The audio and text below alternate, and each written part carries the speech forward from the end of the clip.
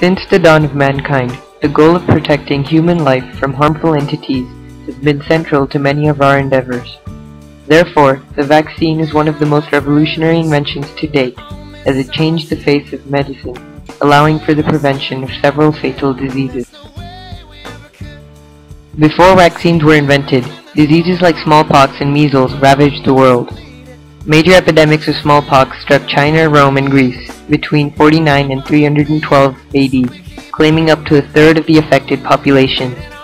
Inoculation, which involved scratching pus or powdered scabs from a lesion into the skin of the patient, was used by the Indians and the Chinese as early as 200 BC. However, as this practice involved full-strength samples of the disease, it was risky and ineffective.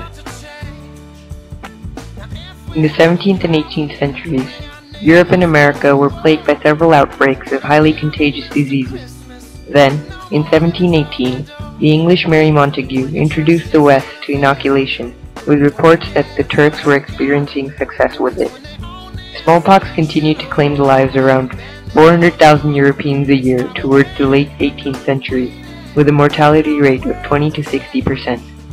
However, newfound knowledge and rising desperation proved to be catalysts for the revolution that was just around the corner. In the 1770s, English scientist Edward Jenner heard a milkmaid boast that she would never contract smallpox, as she had already had cowpox, which had mild effects on humans. Inspired by this, in 1796, Jenner injected cowpox into an 8-year-old boy, and six weeks later infused the same boy's arm with smallpox. He observed that the boy was not affected by the disease, thereby pioneering the idea that the injection of disease samples that were dead, weakened, from an alternate source were efficient in immunization. Although initially met with skepticism, Jenner's process, known as vaccination, became widely implemented. A law passed in 1853 made it mandatory for people in England and Wales, and several other nations followed suit. Soon, scientists developed other vaccinations, including one for rabies by Louis Pasteur in 1885 and one for measles in 1963. The eradication of the ternus smallpox was finally certified by the WHO in 1979.